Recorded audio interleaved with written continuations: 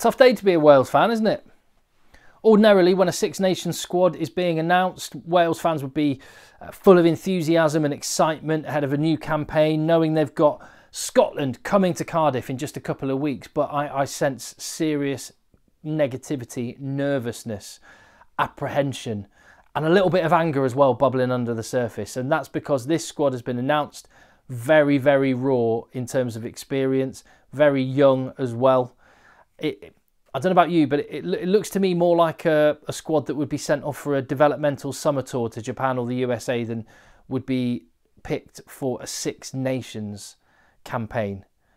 So there are Wales fans that are getting very worried about how this team may get on. One thing I've learned over the years, quite often painfully as an English fan, is that whatever Wales's team looks like on paper, when they run out onto the field, they manage to pull performances out of themselves, especially under Warren Gatland, whose mantra has always been be the best at the things that require no skill.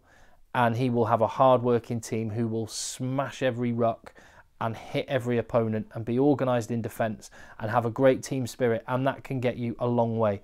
Now they're going to have, they're going to be galvanised by a sense of having being written off by press and by fans. You know, the Wales fans will support them but I think there's certainly the ones, the friends of mine that are Welsh, that what they're saying is they're a little bit worried because this seems like a very, very green Wales squad. And when you think about the names that were involved in the World Cup that aren't there now, British and Irish Lions, household names, the likes of Taulupe Faletau and Liam Williams. And then when you add to that the fact that Jac Morgan, you know, the talisman and the new captain, the new face of Welsh rugby, he's not there due to injury as well. Uh, that's all one thing. And then what we also learnt today is that Wales will not be able to select Louis Rees-Zammit, who has, for the time being at least, left the sport. There's a video on that in the feed right now. Go and have a look. I do put a bit of a positive spin on it because I'm excited for Louis Rees-Zammit. I think it's an amazing opportunity, will be a brilliant experience and a story to follow. I also understand it is a hammer blow. I don't see it as a, a sign that rugby is dying or it, it, when you hear Louis Rees-Zammit talk about what American football and the NFL means to him, he sat watching it growing up with his dad, and he's got an opportunity to go and have a crack. I don't think he will make it. I think if he even makes a, a practice roster, which is likely what he will manage, that will be an amazing achievement in itself. Just to pull on the uniform and be going and working with these super athletes. If he makes a roster I will be blown away. If he's not back playing for Wales in a couple of years, I will be blown away. So try and see the bigger picture and know that he will come back. And in the meantime, you can unearth the next talent. Will the extra time and, and, and ability to play for Rio Dyer turn him into a superstar? Who knows? I know it does feel even worse, and it would have softened the blow, wouldn't it? If you know you lost Louis Rees-Zammit, but on the same day you see Emmanuel Feyi-Waboso's name down in that squad, that would have made it feel a little bit better but you haven't got him either. Uh, and that that one, in some respects, I think should hurt a little bit more because this is a lad that grew up, played his rugby in Cardiff, and it looks like he's choosing England over Wales because of the well, just because of well, because of non-rugby factors.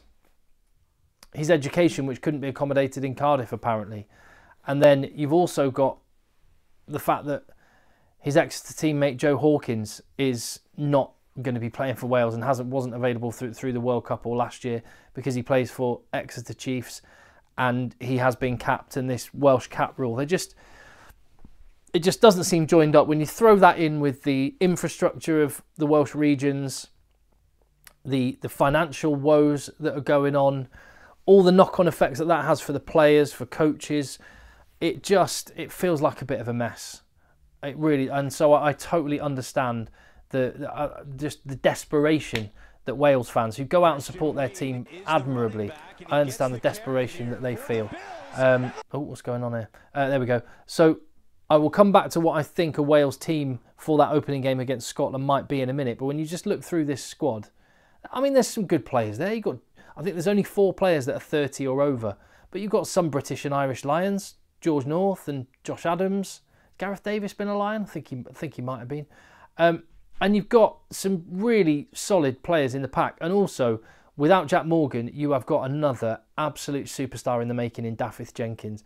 This guy is, I think he could be a generational talent. He's the captain in Jac Morgan's stead. He's been doing that job for Exeter Chiefs incredibly well, and he just looks like the, the, the natural heir to Alun Wyn Jones's throne. And I think he can he could potentially live up. No, what very, hardly anyone will live up to Alun Wyn Jones in in the the whole future of the sport. But he's got a good chance of of carving out an incredible career of his own. So there's lots to be enthusiastic about, and there's lots of young players that are going to be given a chance. Uh, Cameron Winnett, for example, I know, I know, there's so much excitement about this lad in the back three. Um, there are areas though that I just feel a bit nervous. Front row, that front row does not look international class. But then again, Warren Gatland plucked Tomas Francis. He wasn't even it wasn't even that Tomas Francis had a decision to make will he play for England or will he play for Wales. He was never in a month of Sundays going to play rugby for England. But Warren Gatland saw something in him, picked him, and he's what 80 caps to his name. Fantastic international. So there will be something in some of these players that no one else has seen that Warren Gatland has spotted. And, well, but just to put it in context, one, and this is not knocking the guy, this is what an opportunity, but Archie Griffin, second row, he plays at Bath. I say he plays at Bath, he has never started a Premiership game, and he's in a Six Nations squad. That is, uh, that is quite something. So what will a Wales team look like? Tell me what you think the 15 will be for that game against Scotland and Wales's uh, fixtures. I mean, it starts probably about as kindly as it could. Uh, that's no disrespect to Scotland. It's just that Wales's record against Scotland in Cardiff is amazing. So, well, so Scotland might be looking at it and thinking, if we can't break our Cardiff curse this time, we never will. Uh, they've got Scotland at home, then England away, both winnable. Then Ireland away, that looks very tough at this point. France at home, big challenge. And Italy at home. So I think Wales can realistically think that they can win three games. There's, there, there is some talk about memes and stuff being put online about wooden spoon and stuff. I think that's a little bit premature and a little bit unfair because yes, the squad overall is green, it's raw. Some of the guys might feature and then not make it as international players. But whatever team 15 goes on the pitch will do a solid job. I've had a go at picking a team. Tell me what you think about this. And you can see my concerns are the front row mainly. The prop positions, um, the tight head prop in particular, you've well, you just don't have your your main tight head props from the Rugby World Cup just gone. So I, I don't know exactly what that will look like. I'm just kind of plucking a name. I, I don't know. But look at the rest of the pack. It looks all right. And it will get better. Jac Morgan coming back in will make a big difference uh, when he when he does. But Taine Basham, hey, he's got a chance right now. They'll be serviceable. They'll be good. They'll they'll put a shift in, and you, you've got good experience on the bench. When you when you look at Adam Beard here, it could be Will Rowlands is on the bench and Adam Beard is starting. If they can keep all of these guys fit, that's all right. And the back line looks decent to me. I've put Mason Grady on the wing and Josh Adams to fullback just because I thought just get the talent that you know and has already been weighed and measured at international level on the pitch. It may well be that they go for Cai Evans at fullback and keep Josh Adams on the wing, Mason Grady to come off the bench. That would be decent as well they've got decent players. I, Sam Costelow, he's now got the opportunity to try and make the 10 jersey his own. A lot of responsibility on his shoulders.